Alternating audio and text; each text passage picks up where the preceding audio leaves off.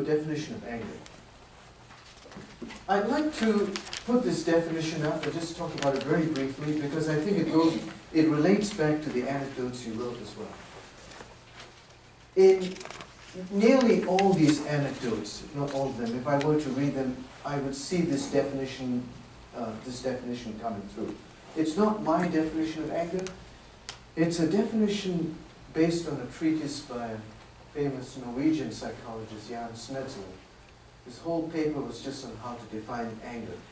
And I think this is important because I have read, I have read occasionally on the internet, um, and I've read sometimes even in, in chapters and books, people defining anger differently. One common alternative definition, and I, I, I won't, I'm not going to say it's outright wrong, but it's not the definition that Smedslund would, would subscribe to, is this definition you will see people say anger is a reaction to perceived threat.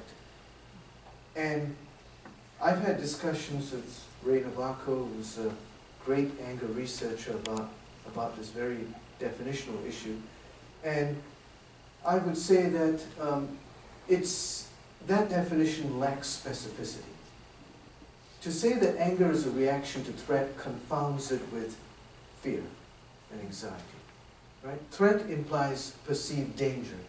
Perceived danger more likely leads to fear and escape and avoidance. Anger doesn't, as we'll find out. In anger, it's mainly a wrongdoing. It's perceived wrongdoing, it's not perceived threat. And Smedslund, by the way, came up with this definition not just based on his own philosophical musings.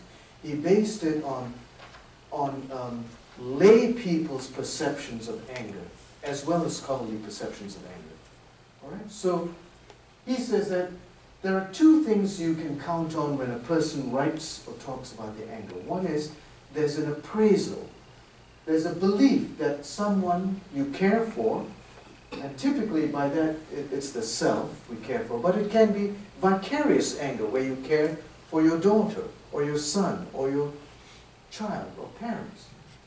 Someone one cares for has intentionally or through neglect. Now that's important. When we get into some of the cognitive reappraisal exercises later, you will see it, it invokes this very definition of intentionality.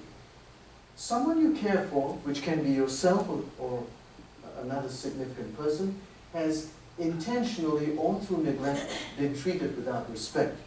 Now, what Smedslund means without respect is using it almost in a metaphoric sense to mean this person, yourself or someone else, has, has basically been mistreated. That's really all he means. And in addition to that cognitive appraisal, there is a motivational tendency to have that wrongdoing righted, to have that wrong righted. And as I read through your anecdotes, I could tell many of you talked about, you know, causing grievous bodily harm to the person who offended you, to the person who mistreated you so badly. Some of you talked about, about you know, just yelling and screaming. And, and some talked about communicating. Whatever the case, whether it's communicating verbally, whether it's yelling or screaming or hitting, that is your way to right the wrong, to have that